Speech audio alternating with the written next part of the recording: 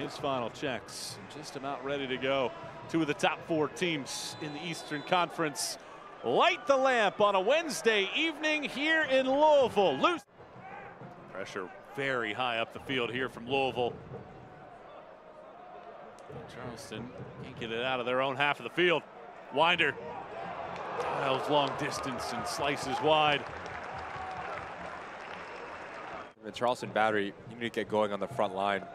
Markanich, Avila, Reedy, Williams, they need to come alive and play off between the lines. That was your watch out. Lancaster, Cameron Lancaster, just wide. Side, Kyle Adams just picks up his head and says there's real estate in behind. Leland Archer just misreads the flight of the ball. Cameron Lancaster does everything right. Opens up his hips. Trey Muse is out of position. Two yards into the into, into the interior. It's 1-0 Lou City. You see the frustration. And the first half whistle blows as well from Brandon Stevis. That was our best chance of the half from either side and a shot where you normally expect Lancaster, third all time in USL championship history, to bag one. What an impact Oluwaseyi has made for San Antonio. He had that breakout match against Charleston back on May 13th with a hat trick, and he continues to pile up elite goal scoring numbers. There's some space for Wynder. Wynder winds up, and this is wide. He's had a couple opportunities in this game, hasn't hit the frame. Blue City is a more potent side. They're the team that seemingly is in more control. They've really not conceded any kind of knee-knocking moments to Charleston. Semmle comes out. He has been asked to do very little this evening. But I do think the longer that this stays nil-nil, it gives more hope to the batters the, to the battery to steal one here. Here's Avila. Avila winds up. Semmle saves it and can't keep it in play. It goes out for a corner. Most in the USL Championship. They've given up the fourth fewest goals overall this season.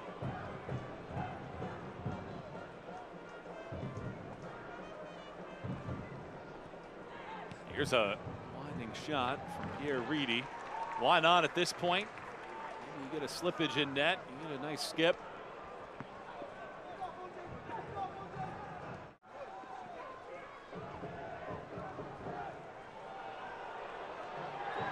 This ball into the box.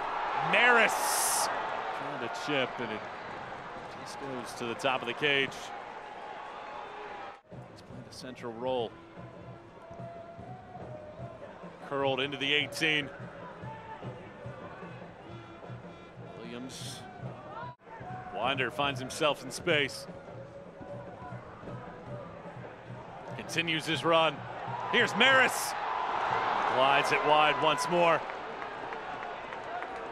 Can't watch the match? Turn on Sirius XM FC 157, North America's only 24-7 source for engaging soccer talk, including USL All Access Tuesday nights at 7 Eastern. Plus, hear live matches from the USL. Lancaster!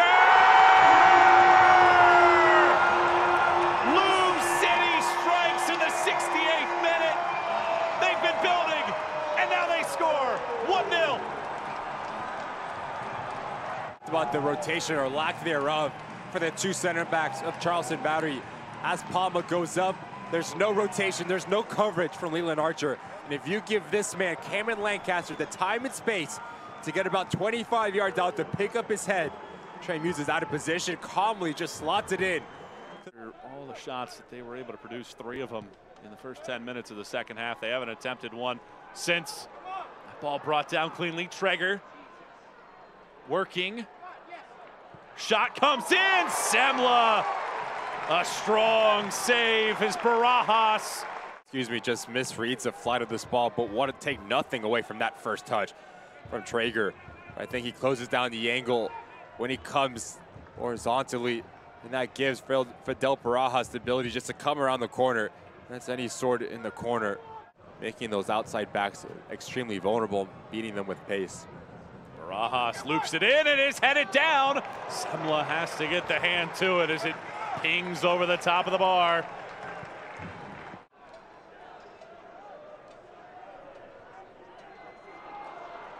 There's a giveaway. After the advantage played for Lou City.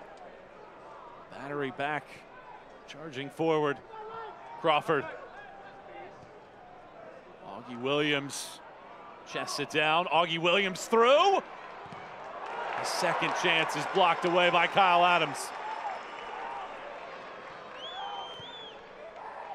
Some seat squirming moments for Lou City fans now. Charleston has found that confidence. Into the box it goes! We're equal!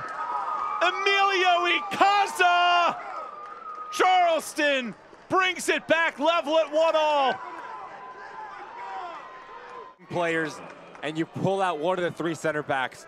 Gaps open up between lines and take nothing away from Fidel Barajas. Knows exactly what he wants to do, picks up his head into a dangerous area, and what a quality finish this is from Ycaza. Heels off the shoulder of Sean Totsch.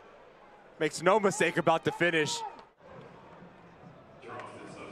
Andrew Booth is coming in, and Ycaza, the goal scorer, is out.